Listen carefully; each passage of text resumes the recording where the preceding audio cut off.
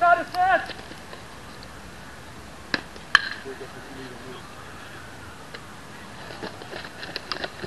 Outside, outside.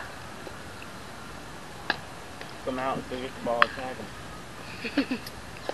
inside, inside.